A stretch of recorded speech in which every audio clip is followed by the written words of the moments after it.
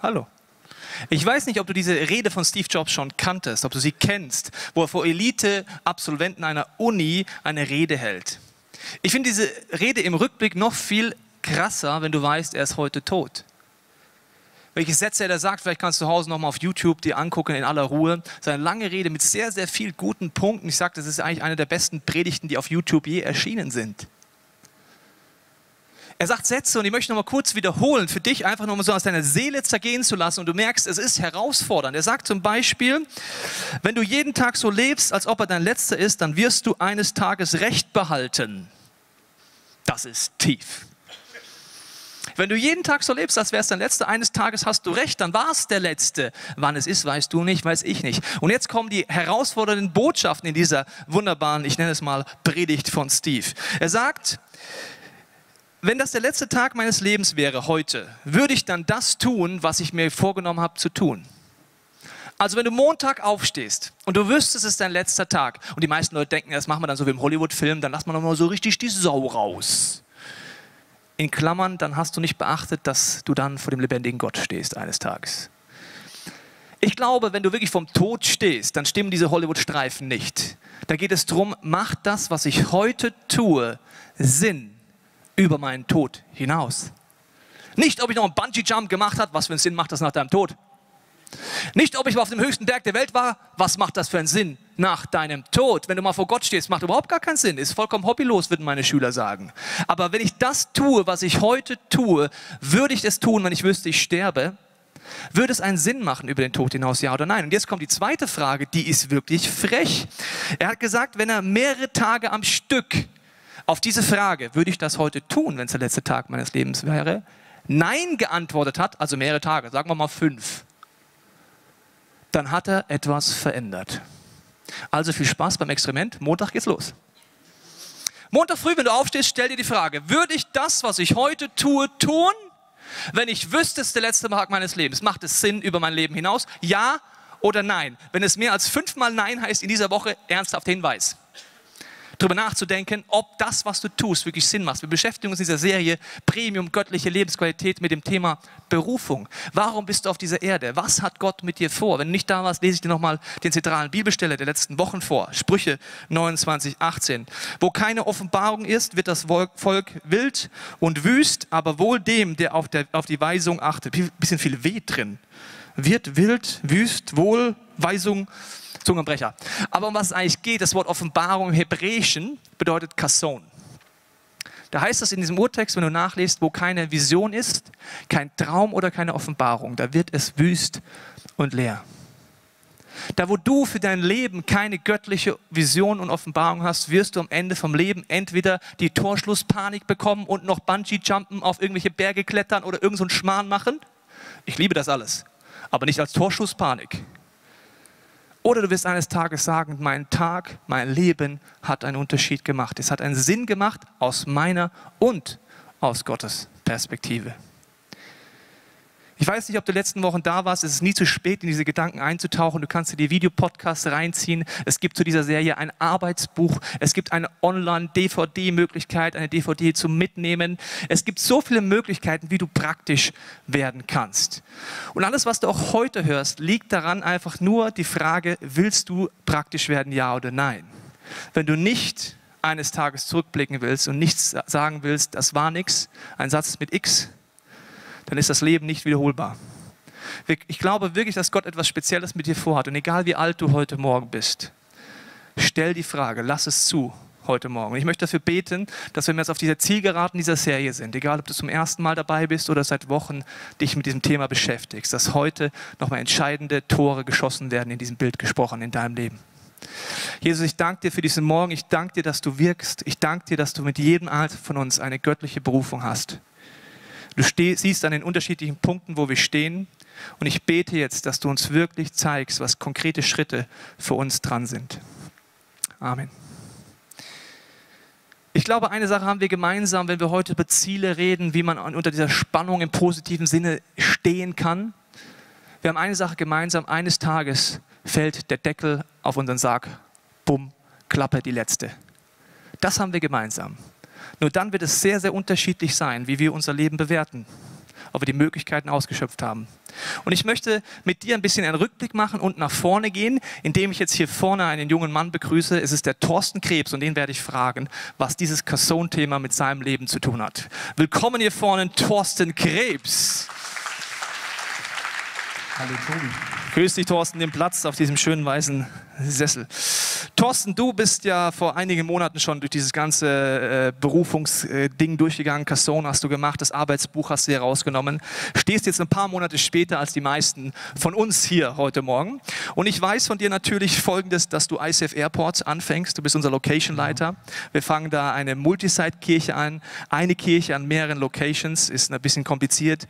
Kannst du mal woanders nachfragen, was das bedeutet. Aber der entscheidende Punkt ist doch, Thorsten, du hast ein Visions Glaubenssatz rausgefunden, weil du dich mit diesen drei Kreisen beschäftigt hast, deinen ja. Werten, deinen Gaben, deiner Vergangenheit und hast dann so einen Satz formuliert, so einen Visionssatz, und den möchte ich jetzt mal vorlesen. Ich, also du, möchte Orte schaffen, an denen Menschen so sein können, wie sie sind, ermutigt werden und zu dem aufblühen können, wozu sie geschaffen wurden. Krasser Satz. Wie bist du da drauf gekommen? Das waren mehrere Punkte. Und das war genau das Thema, was du gesagt hast. Ich habe mir verschiedene Sachen in meinem Leben angeschaut.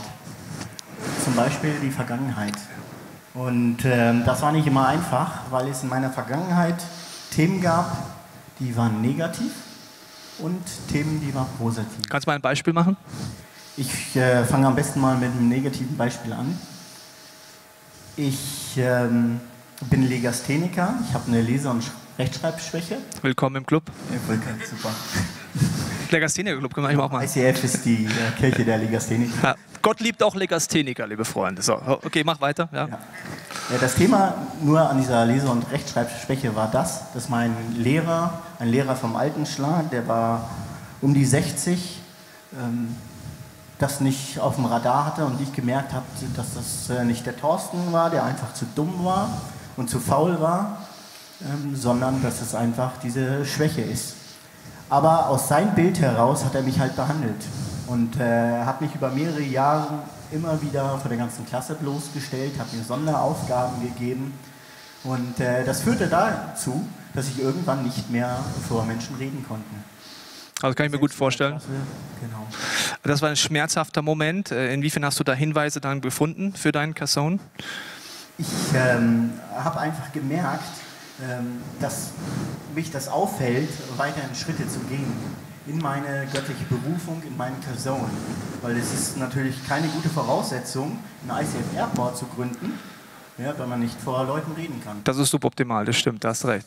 Aber jetzt, äh, Vergangenheit war ein Hinweis, Werte und Gaben, was hast du da für Hinweise gefunden? Bei meinen Werten und Gaben ist es so, dass ähm, ich stark Leute ermutige, so wie es in diesem Satz drin steht. Und dass es eine Sache ist, die ich mir nicht vornehmen muss. Also ich muss mir das nicht irgendwo auf einen Zettel schreiben und sagen, ich muss jetzt XY ermutigen oder loben, sondern das ist einfach ein Wesenszug an mir. Und äh, ja, das ist einfach eine Begabung. Das habe ich gesehen, dass sich das immer wieder in meinem Leben äh, widerspiegelt, dass so Leute mir das sagen, hey, da hast du mich jetzt aber krass ermutigt und krass aufgebaut und mir ist das eigentlich gar nicht so bewusst. Ja, ein, ein weiterer Punkt, der dich ausmacht, weiß ich ja auch, weil ich es ja schon öfters genießen konnte, ist dann Gastfreundschaft, nicht wahr? Also ich kann euch empfehlen, lasst euch einladen von Krebs. Ähm, Gastfreundschaft war dann auch so ein Hinweis für dich, einfach, dass Leute da sind, äh, dass sie bei euch sich wohlfühlen. Jetzt diese Hinweise, wie kommst du dann auf den Satz? Wie kann ich mir das vorstellen? Also ähm, das ist so, es gibt ja ein Arbeitsheft und da würde ich dir einfach empfehlen, dass du das kauf, äh, kaufst und ähm, da wirst du einfach durchgeführt durch das ganze Thema. Du schaust dir die Dinge an und äh, du fängst an, groß zu denken. Ich habe angefangen, groß zu denken. Was möchte Gott wirklich mit meinem Leben? Äh, was hat er vor mit mir? Und ähm, ja, ich habe einfach angefangen zu schreiben. Und ähm, das war am Anfang eine DIN A4-Seite und ähm, ja, es zog sich ein roter Faden hindurch und ähm, ja, ich habe das reduziert auf diesen einen Satz der mein Leben lang Bestand hat. Also ich höre raus, es kostet auch Zeit, Invest, Kraft. Es ist nicht so, zack, bumm, jetzt habe ich mal meinen Visionssatz, jetzt kenne ich meinen Casson. Ähm, Jetzt dieser Satz ist ja sehr breit. Ich lese ihn nochmal vor. Ich möchte Orte schaffen, an denen Menschen so sein können, wie sie sind, ermutigt werden und zu dem aufblühen können, wozu sie geschaffen wurden. Das könntest du jetzt an vielen Punkten machen. Das könntest du im Job machen, in der, im Business machen, das kannst du in eine Small Group gründen, vielleicht in der Kirche. Wie kommst du dann auf die Idee, ICF Airport anzufangen, unsere erste Multisite? Und äh, ich habe eine Bitte an dich, ja, dass du es mal so schön machst, wie du es mir das allererste Mal erklärt hast, weil Thorsten ist ja ein, wie sag ich mal, ein verhaltenskreatives Kind, das malt immer. Ja? Und da habe ich gesagt, zeig mir mal an Symbolen, Thorsten. Zeig mal so, ja, genau. wie war das? Habe ich dir welche mitgebracht? Ich assistiere dir ein bisschen. Ja. Das hilft mir auch, selber diese Geschichte zu behalten. Und deswegen habe ich äh, einfach Symbole mitgebracht. Und ein Symbol ist ein Schild. Weil ähm, das war ein längerer Prozess. Vor zweieinhalb Jahren äh, stand ich an einem Punkt mit meiner Frau, wo wir gemerkt haben, hier geht es nicht weiter. Und Gott hat irgendwie einen anderen Weg für uns. Er möchte uns an einer anderen Stelle haben, er möchte uns an einem anderen Ort haben. Und ähm, ja, wir haben in dem Zusammenhang einfach die verschiedensten Dinge ausprobiert. Also es war so ein Startgefühl, so ein Startimpuls. Ich werde es gleich aufhängen als seine Assistentin. Äh, und dann seid ihr ja in ein äh, interessantes Land gefahren, nach Afrika. Da wolltet ihr mal ausprobieren, was ist denn da los? Was kann ich mir darunter vorstellen? Ich hänge es mal auf, gell? Ja. Wir, wir hatten die äh, verschiedensten Gedanken zu, zu dem, was Gott mit uns vorhaben könnte. Und da war auch äh, das Thema Afrika, stand da auf dem äh, Zettel. Und so sind wir einfach äh, nach Afrika gefahren, nach Südafrika genau zu sagen, und haben dort für fünf Wochen in einem sozialen Projekt mitgearbeitet, um zu schauen, ob das der Platz ist, an dem uns Gott haben will. Und ich habe relativ schnell gemerkt, dass das nicht mein Platz ist. Woran? Äh, weil die Mentalität der Afrika na, einfach eine andere ist als meine deutsche Mentalität. Zum Beispiel das Thema Pünktlichkeit hat mich einfach unheimlich gestresst. Bist schon Deutscher, ne? Ja. ja. Durch mhm. durch. Ja. Ist auch eins meiner Werte. Pünktlichkeit. Ja, Pünktlichkeit. Das ist suboptimal, ja, in Afrika genau. zumindest. Und, ja, das war einfach äh, das Thema, wo ich gemerkt habe, das ist nicht mein. Also ich merke jetzt am nächsten Punkt, nur kurz zum Reflektieren, ihr wart dynamisch unterwegs. Ihr habt nicht in einem Zimmerchen gewartet, nur allein, sondern ihr habt Sachen ausprobiert. Ist das was? Ist das nicht? Kann ich mir vorstellen. Und dann kam ein großes Möbelhaus ins Spiel. Was hat es damit auf sich? Ein anderer Gedanke, äh, den wir hatten, war, ähm, dass ich den Wunsch hatte äh, von einer IKEA-Kirche, dass wir den Gedanken haben, eine Kirche in München zu gründen. Und die Leute haben mich immer gefragt, wenn ich von meiner IKEA-Kirche gesprochen habe, was meinst du da eigentlich mit? Und ähm, ich mag es dir kurz erklären. Äh, beim IKEA ist es so, dass sämtliche Gesellschaftsschichten dort einkaufen vom Arbeiter bis zum Akademiker. Und das war mein Wunsch an Kirche, dass alle Gesellschaftsschichten zusammenkommen und sich unterstützen und ergänzen.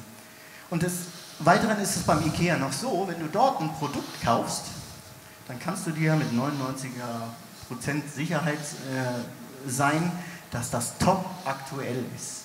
Und ähm, in so einer Kirche wollte ich einfach sein, die einfach die Möglichkeiten, die man heute hat, nutzt und äh, ja, wir sind ins ICF gekommen und ich habe gemerkt, dass ich keine Kirche gründen muss, die es schon gibt. Willkommen in der IKEA-Kirche. Herzlich willkommen, ja. Auch die Segmüller-Freunde, herzlich willkommen. Ein bisschen, man muss auch andere Begriffe, verstehst du, so, so Product, Product Placement, XXL Lutz, so Product Placement, muss man aufpassen. Richtig, also das Motto ist, äh, wohnst du noch oder glaubst du schon vielleicht an die IKEA-Kirche? Äh, dann weiß ich noch genau wie, wie heute, dann kamst du eines Tages zu mir und gesagt, Tobi, also du hast eine E-Mail geschickt an info.icf-münchen.de mit einer Vision in deinem Herzen, das weiß ich noch wie heute. Was kam als nächster Schritt? Ich hänge Ikea auf. Ja, ich äh, saß irgendwann mal an meinem Schreibtisch und hatte so einen, so einen Tagtraum. Und dieser Tagtraum hatte mit dem ICF äh, München zu tun. Und äh, das Problem an diesem Traum war, dass das äh, nicht zu dem passte, wie das ICF München zu dem Zeitpunkt aussah. Ich habe ein ICF München gesehen, das äh, über die Grenzen von München herausragte, das an vielen Stellen zu finden war und das einfach einen ganz starken sozialen Ansatz hatte. Und ähm, ja, ich, wie gesagt, ich habe eine E-Mail geschrieben. Äh, wir haben uns dann über diesen Tagtraum von mir unterhalten. Und du erzähltest mir, äh, dass das genau das Thema ist, was euch gerade beschäftigt. Dass ihr euch überlegt, was sind die nächsten Schritte, äh, die nächsten Jahre als Kirche. Das weiß ich noch wie heute. Ich habe die E-Mail weitergeleitet bekommen von unserer Info-Ad-Adresse und da ging es mir, habe ich einen Schauer bekommen, einen Rücken runter, weil wir als Leitungsteam viel über diese Agenda 2020 gerade diskutiert haben, Multisite anfangen, Brennpunktarbeit anzufangen und der Frage, Gott, willst du das, sollen wir das der Kirche kommunizieren? Und dann hast du eine Zeichnung mitgeschickt, die habe ich heute noch in meinem Posteingang, wo du das aufgezeichnet hast und das war für mich natürlich äh, ein ganz besonderer Moment. Wie ging es denn weiter dann? Ja, diese Agenda 2020 wurde dann hier im ICF München vorgestellt. Und ähm, wir haben uns als Familie oftmals zu Hause darüber unterhalten. Und äh, haben einfach gemerkt, dass wir nicht nur zuschauen wollen, ob diese Agenda 2020 funktioniert oder ob es ein riesiger Reinfall wird, sondern äh, wir haben die Entscheidung getroffen, wir wollen Teil davon sein und wollen mit Hand anlegen, wenn äh, Gott einfach Dinge umsetzt hier in dieser Region. Das ist ja ein schöner Wunsch wieder, ja. Man kann sagen, jetzt warte ich mal, was passiert so. Du bist ja sehr praktische Schritte dann auch gegangen, um diesen Traum mit zu ermöglichen, dass München wirklich jeder Einzelne, der in München wohnt, die Chance hat, einfach diesen Gott kennenzulernen. Da hat dann die Schweiz eine gewisse Rolle gespielt, Thorsten. Außer Schokolade und ja. Goldreserven, was kann man da in der Schweiz noch machen? Ja, das ist richtig. Ich habe einfach gemerkt, dass ich ein Know-how brauche, dass ich lernen möchte, wie das funktioniert eine Location zu betreiben, eine Außenstelle vom ICF München. Und äh, wir als Familie haben die Entscheidung getroffen, dass wir einfach für eine Zeit in die Schweiz gehen und dort von den Menschen dort vor Ort, von unserer Mutterkirche zu lernen. Ich fand es einen äh, schönen Moment, dass du dann überlegt hattest, äh, den Schritt zu gehen. Hast du ja noch so hin und her überlegt, kann ich das bringen, Familienvater und so weiter. Was war dann so der letzte entscheidende Hinterntritt für dich, dass du sagst, jetzt machen wir das, auch wenn es ein bisschen crazy ist? Genau, der Hintertritt ähm, und, und die Entscheidung war einfach im Gespräch mit dir. Wir haben uns damals darüber unterhalten und ähm, du hast uns einfach mitgeteilt, dass als du uns damals das erste Mal gesehen hast, äh, uns als äh, zukünftiger Location-Leiter gesehen hast, und ähm, das war etwas, was nur noch Bestätigung war. Weil wenn du uns das am Anfang erzählt hättest, als wir hier das erste Mal reingekommen wären, wäre das stark manipulativ gewesen. Und äh, wenn du gesagt hast, ja, ich habe den, den Gedanken, dass Gott euch da und da haben will, herzlich willkommen im ICF, wäre das ziemlich schräg gewesen. Das stimmt, ja. Also das ist ein kleiner Zwischentipp für dich. Ich weiß nicht, ob du das kennst, mit Gott zu kommunizieren. Wenn nicht, kannst du hier Angebote dieser Kirche nutzen, um Kommunikation mit Gott einzugehen. Aber wenn du Impulse hast für, ein anderes, für einen anderen Menschen, gehört dazu immer die Frage auch, wann sage ich es? Ich merke, die wenigsten von uns kommen auf die Idee. Impuls muss ich weitergeben. Und das ist so ein Punkt gemerkt, wo ich mit meinem Typ echt gerungen habe, Monate zu warten und zu warten, dass es Gott in dir bestätigt, bevor ich sage, dass eben das nicht passiert. Ja, Thorsten, ich hänge das jetzt mal auf und äh, wer, vorher sage ich noch folgenden Punkt. Letzte Woche ging es ja auch um diese Speichen dann, ja, also dass es darum geht, dass da Dynamik reinkommt, wie so ein Rad, das rund läuft. Das sind ja so fünf Bereiche, ja, die man sich angucken kann. Die hast du hier da auch angeschaut, ja. Welcher dieser Speichen hast du gemerkt? Fangen wir mit dem Positiven mal an. Danke. Ja. Erstmal positiv anfangen. Wo hast du gemerkt, die Speiche ist eigentlich schon recht gut stabil ausgebildet in meinem Leben. Ja, das ist die Speiche der Finanzen. Und äh, das hängt nicht damit zusammen, dass ich aus einem reichen, reichen Elternhaus äh, komme, dass ich von Beruf Sohn bin oder dass meine Frau von äh, Beruf Tochter ist, sondern es hängt einfach damit zusammen, dass wir gut mit Ressourcen umgehen können, dass wir es früh gelernt haben, mitbekommen haben und ähm, dass wir einfach über die letzten Jahre schlau gewirtschaftet haben. Dinge zur Seite geschafft äh, haben, aber auch uns nicht total überschuldet haben, als wir ein Haus gebaut haben. Und ja, das war die Grundlage dafür, dass wir überhaupt in die Schweiz gehen konnten. Also, also ein Hinweis, dass diese Bereiche wirklich Voraussetzungen sind für dich, um dein Kasson zu leben. Jetzt fangen wir mal mit dem nicht so guten an, noch als nächsten, nächsten Punkt. Welche Speicher hast du gemerkt, naja, die ist noch ein bisschen zerbrechlich, die könnte ein bisschen stabiler, ein bisschen kräftiger werden? Das äh, ist das Thema äh, mit, mit dem Körper. Ich habe einfach gemerkt, dass äh, wenn ich Träume habe und ähm, Visionen einfach habe, äh, dass ich total platt bin am Abend, wenn ich nach Hause komme. Äh, dass ich nur noch auf meinem Sofa in mir zusammenfalle und ja, dann dort meinen Abend genieße, weil du musst wissen, vor einem Jahr, eineinhalb Jahren hatte ich ungefähr noch 10 Kilo mehr auf den Rippen und das war mir einfach ein, ein Hindernis, einfach Vollgas zu geben, äh, in meinem Lebenstraum, in meiner Lebensberufung. Also weil du keine Spannkraft hattest, um Ich hatte nochmal... keine Spannkraft, ich hatte keine Kraft mehr, noch etwas anderes zu tun. Also das kann man ja sich vorstellen, wenn ich heute sieht, 10 Kilo mehr. Ich habe den Thorsten ja gebeten, Fotos mitzubringen, aber die waren alle nicht mehr da. Ne? Ist klar. Ja, alle gelöscht. Ne? alle Ja, ja. gelöscht. Ich hätte es Also lustig gefunden. So, Thorsten damals, Thorsten heute. Egal. Äh, wenn du jetzt deinen Arbeitsbereich anguckst, da hast du ja auch gemerkt, äh, das ist, passt nicht so ganz. Du hast vor Jahren eine Arbeitsentscheidung getroffen, die nicht wirklich zu deinem Visionsstatement passt. Wie bringst du das heute zusammen? Ich habe vor vielen Jahren die Entscheidung getro- getroffen, in, in den Bereich äh, der Telekommunikation einzusteigen und habe dann erst gemerkt, äh, dass das gar nicht meinem Naturell entspricht. Dass ich es eigentlich liebe, mit Menschen in Kontakt zu sein, äh, ja, mit ihnen einfach äh, ja, Gemeinschaft zu haben und da Dinge zu tun. Aber der Zug äh, der Berufswahl war für mich einfach schon abgefahren. Und ähm, es bestand für mich nicht so einfach die Möglichkeit, diesen äh, Zug anzuhalten, wie äh, die letzten Wochen, wo, wo der Jonas erzählt hat, dass er einfach einen neuen Weg eingeschlagen hat. Für mich war das nicht möglich. Ich habe aber gemerkt, dass das kein Hindernis äh, für mich ist, trotzdem meine Berufung, meine Person zu leben. Die lebe ich halt jetzt konkret am ICF Airport, um diesen Ort dort zu schaffen.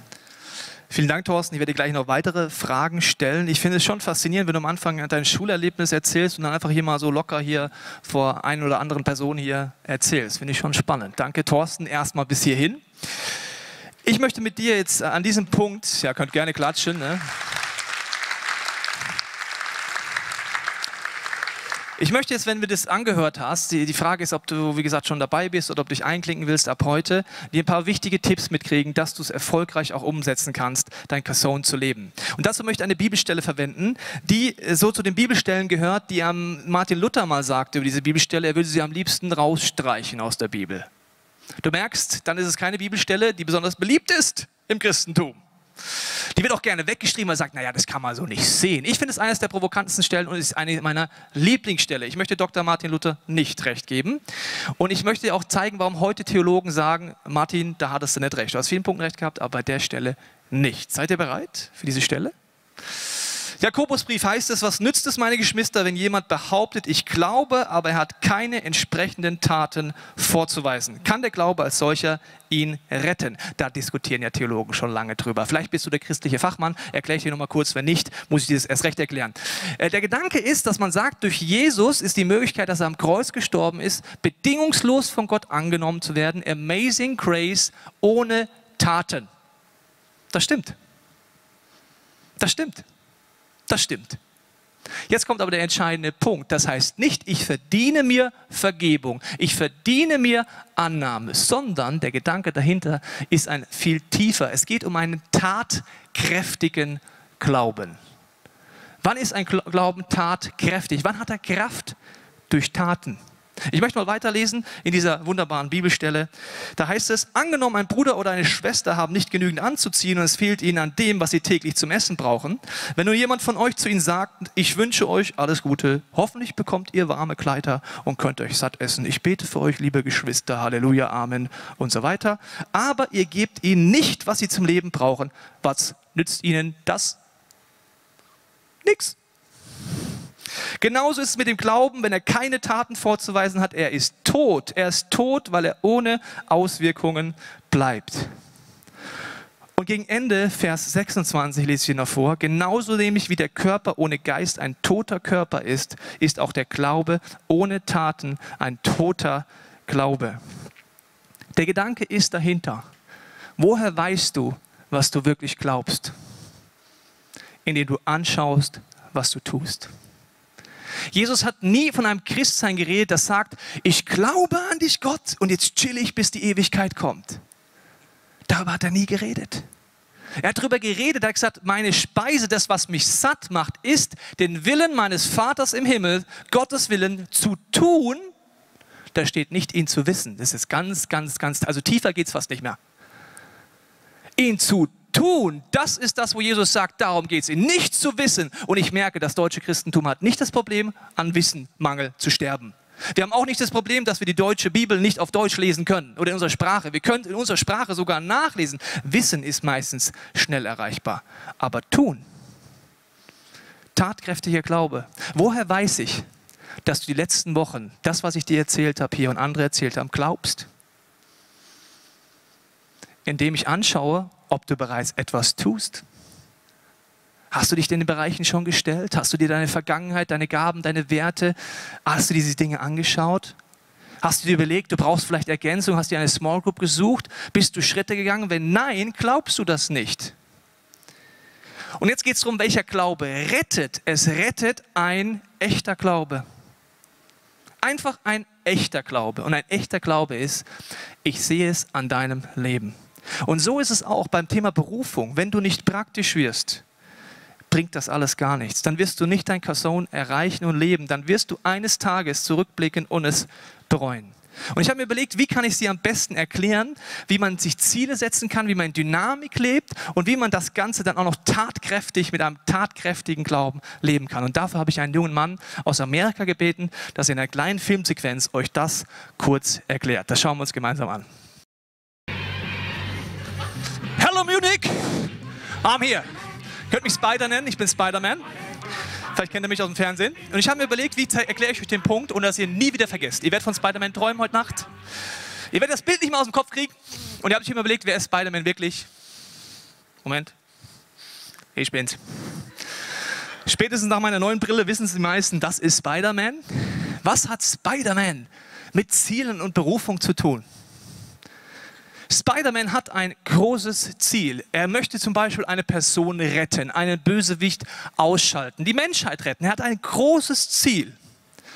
Er weiß auch, wo es hingeht. Er hat die grobe Richtung. Wie kommt er von A nach B? Spezial-Spider-Man hast du wahrscheinlich gerade gesehen. Er hat eine Spezialtechnik entwickelt, indem er seine Spinnfäden ausspannt, Spannung draufkriegt und schwingt und im richtigen Moment die nächste Spannkraft aufbaut. Wenn Spider-Man die Technik nicht entwickelt hätte, würde er es folgendermaßen machen. Er schwingt einmal, zack, vergisst so unterwegs, woo, I'm free falling, ich fliege. Er vergisst das nächste Ziel zu setzen. Was würde passieren? Woo, woo. Und dann schaukelt er schön an seinem Fädchen hin und her und wartet auf die Ewigkeit. Ziele setzen heißt, ich habe einen Fokus, ich gehe darauf zu und ich setze immer die nächste Spannkraft auf, um vorwärts zu kommen. Boah, ist das heiß. Was heißt das für dich und für mich? Das heißt, wenn du dir keine Ziele setzt, wenn du nicht überlegst, wie wirst du praktisch, wirst du die Ziele nicht erreichen. Jesus hat ein großes Ziel mit deinem Leben, nicht nur eine lebendige Gottesbeziehung, sondern dass du ein Teil wirst in seinem Traum, dass Menschen ihn kennenlernen. Das ist das große Ziel wie bei Spider-Man, da muss er hin. Und diese Spannung kriegst du rein in eine Methode, die ich dir kurz erklären möchte. Das heißt die SMART-Methode. Indem du überlegst, spezifisch, messbar, attraktiv, realistisch und terminiert, wie komme ich von A nach B? Wenn du deinen Visionssatz gefunden hast, wenn du dein Casson gefunden hast, wie geht's vorwärts? Ich mache dir ein Beispiel. Spider-Man-Methode. Wenn du merkst, in diesen fünf Bereichen, diesen fünf Speichen, deine Gottesbeziehung hat Luft nach oben. Und du kommst auf die Idee, Bibel lesen, das könnte ganz praktisch sein, weil da kann ich mal rausfinden, was Gott überhaupt will. Und du setzt dir folgendes Ziel. I'm Superman, nicht Spider-Man, Superman. Ich werde jetzt jeden Tag um 5.30 Uhr aufstehen, anderthalb Stunden Bibel lesen und in einem halben Jahr die ganze Bibel durchgelesen haben. Jawohl, Amen, Shallah. Wenn du gerade eben null Bibel gelesen hast, nicht aus dem Bett kommst und noch Student bist, das wäre die schlechteste Mischung von allen, das unrealistisch. Das ist nicht smart. Smart hieße, ich setze das Ziel, zum Beispiel zu sagen, ich möchte dreimal in der Woche um 7 Uhr aufstehen, eine halbe Stunde Bibel lesen. Ich sage das meiner Frau, ich sage das meiner Freundin der Small Group und ich sage noch, dass jemand mich anruft in der Früh, dass ich auch rauskomme. Das wäre spezifisch, messbar, attraktiv, realistisch, terminiert. Und diese Ziele muss ich mir immer wieder setzen. Ich mache dir ein Beispiel. Wenn du es nicht machst, du hast zum Beispiel Kinder und bist schon ein bisschen älter und merkst auf einmal, die Kinder sind aus dem Haus. Wenn du nicht rechtzeitig drüber nachdenkst, was passiert, wenn die Kinder aus dem Haus sind, hast du Spider-Methode, du schwingst hin und her. Diese Dynamik ist entscheidend ganz konkret zu werden. Jesus sagt, geh hin und tu es nicht mehr. Geh einen Schritt, werde praktisch. Das ist im Glauben immer so. Auch wenn du in einer Kleingruppe bist, in einer Small Group dieser Kirche, ihr könnt noch so theoretisch diskutieren. Die Frage ist, wann, wie, wo, was machst du in der nächsten Woche? Das möchte ich noch mit Thorsten am Abschluss fragen. Boah, ist das heiß. Kannst mal mitten den Reißverschluss aufmachen da. Thorsten, du hast ja dieses äh, ganze Casson-Sache schon vor einigen Tagen gemacht. Du hast einen 100-Tagesplan aufgestellt, was ja auch diese letzte Übung bedeutet in dieser Casson-Serie. Äh, wie hat dir das geholfen oder inwiefern hat dir das geholfen, praktisch zu werden? Ich ziehe mich hier um, lass dich nicht ablenken. Also da waren Dinge äh, drauf, die diese Speichen betreffen aber da waren auch Dinge dabei, die das ICF Airport betreffen. Zum Beispiel war eine Sache, ähm, was meinen Körper betrifft, dass ich konkret gesagt habe, ich möchte abnehmen, mir Ziele gesetzt habe, ein Datum gesetzt habe, mir Tipps geholt hat von Leuten, wie kann ich meine Ernährung umstellen, was kann ich dort tun, ähm, dass ich mir überlegt habe, ja, was ist der erste Schritt am Airport, äh, wann fange ich eine Small Group an, und äh, ja, wie, wie starte ich äh, ein Team, wie mache ich das einfach und äh, mir das ganz konkret auch am Termin festgemacht habe. Bist sehr praktisch geworden und dann ist als Tipp bei dieser letzten Session auch im Arbeitsbuch, dass man sich Leute sucht, die man da reinnimmt, die überhaupt Bescheid wissen, welche Ziele man sich setzt. Inwiefern hilft dir das, dass es Leute gibt, die von deinen Zielen wissen? Also das äh, ist das A und O, weil ich eigentlich eher so ein, so ein jemand bin, der so einen Plan erstellt und dann liegt er irgendwo auf dem Schreibtisch oder in der Schublade und dann war es das und dann passiert nichts. Und ich habe einfach gemerkt, dass ich Menschen brauche, die mich reflektieren dürfen, die mir einen, einen Spiegel vorhalten dürfen, damit ich in diese Dynamik äh, reinkomme, dass ich dauerhaft Schritte gehe und immer wieder Schritte gehe. Vielen Dank, Thorsten, dass du so offen und ehrlich aus deinem Leben erzählt hast. Ich bin gespannt, was wir gemeinsam in der Airport-Region erleben werden. Vielen Dank, Thorsten.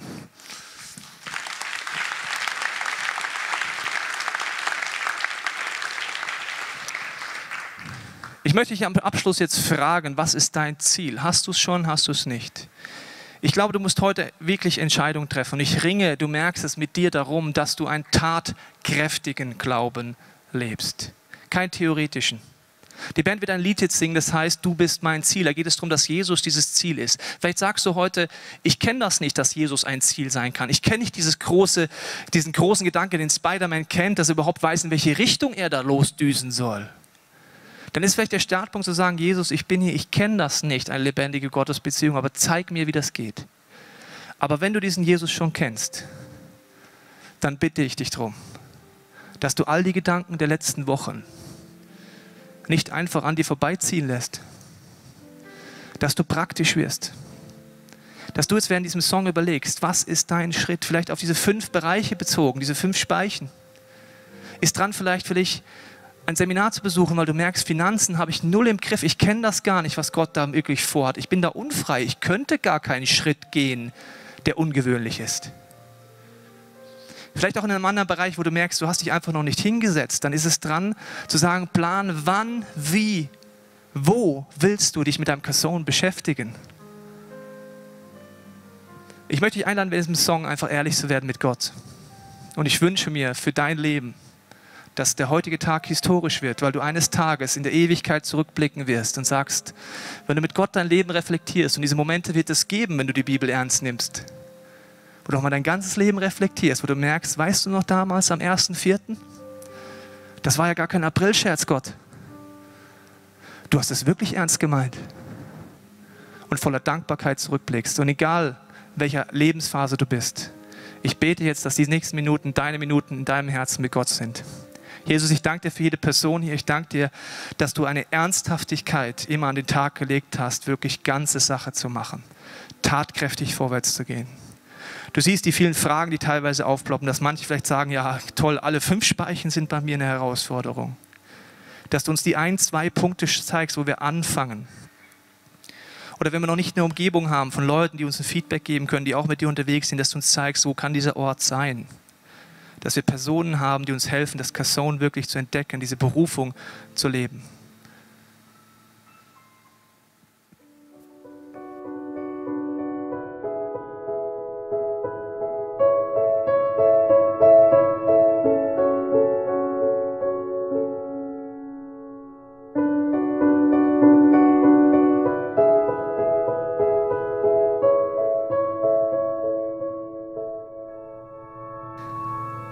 Unser Traum ist, dass jeder Einzelne, der in diesen Gottesdienst kommt, durch diese Serie Impulse bekommt. Dass jeder Einzelne anfängt, seine Berufung zu entdecken. Und das hat Kraft, wenn eine ganze Kirche sagt, wir wollen gemeinsam deine Ideen umsetzen, Gott. Egal, ob es neue Wege sind, ob es was Neues ist, ob es herausfordernd ist oder nicht. Wir wollen deine Wege erkennen. Der letzte Song von der Band ist ein gesungenes Gebet. Da heißt es, dass Gott einfach erhöht werden soll. Das geht, dass seine Ziele passieren sollen. Und du kannst das für dich in deinem Leben singen, dieses Gebet, wenn du möchtest. Dein Wille geschehe.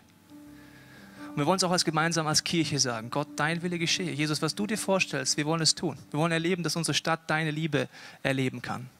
Wenn du möchtest, mach dieses gesunde Gebet zu deinem.